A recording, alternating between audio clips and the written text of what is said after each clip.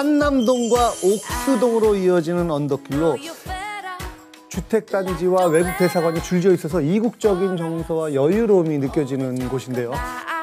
최근 뭐 그 골목 사이사이에 힙한 카페 또 다양한 음식점 예술 공간이 많이 생겨나면서 젊은이들 사이에서 핫플레이스로 뜨는 동네 미식 산책길 독서당로입니다. 아마 그 생소하신 분이 많이 계실 네. 거예요. 독서당로가 어디냐. 그렇죠. 이게 이제 그 한남역 서쪽 서빙고로에서 한남 오거리 거쳐가지고 금호동 사가 저희 집입니다. 금호동 사가 뚝섬로 성동 그 응봉 삼거리로 쭉 이어지는 길. 여기를 이제 독서당로라고 하는데 여기 이제 여러 동네가 다 연결돼 있어요. 다 연결돼 있죠, 네. 그렇죠? 네네. 독서당로 그러니까 독서당 길이라고도 부르기도 하고요.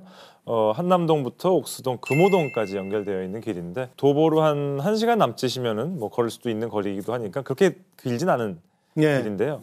어, 이 안에 있는 새 동네를 이제 구경하는 맛이 좀 쏠쏠하다고 해요. 그래서 한남동 같은 경우에는 이미 조금 세련되고 어떤 좀 고급 문화를 좀 향유하고 있는 분위기가 있고요. 그다음에 그런 문화가 번져나가고 있는 곳이 옥수동인 거죠. 그죠?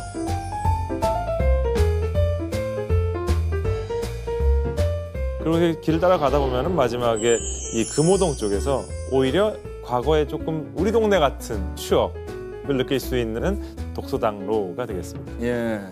아니 근데 어렸을 때 저는 종로구 효자동에 이제 초중고를 다니면서 살았는데 뭐 우리끼리 야 효자동에 사니까 뭐 너는 효자냐 불효자냐 뭐 이런 했어요. 아, 설마 했습니다. 그리고 예. 뭐 울지로 가면 여기는 울지문덕 장군이 뭐 아, 그러면 맞아요. 야 말도 안 되는 소리 하지만 뭐 태계로는 그럼 태계 이왕이냐 근데 나중에 알고 보니까 다 맞더라고요. 다 맞는 말이에요. 다 맞아요. 그래서 아 그렇구나.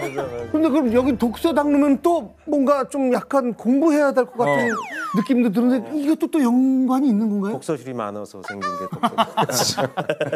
아니 진짜 좀 뭔가 있죠 예, 독서 당. 실제로 독서실이 있었어요. 예? 실제로 독서, 독서실 거봐. 독서실. 아, 독서당? 옛날 독서실. 그, 그 이름이 독서당이에요. 그러니까 독서당. 세종이 만든 겁니다. 그래서 근데 그 국민 왕들, 유교 왕들은 놀 때도 책 보면서 쉬라고 하는 거예요. 우리 같으면 뭐 휴가 가고 유람하고 편히 쉬다 와 이게 아니고 야 독서당 가서 책 보면서 쉬다가 와.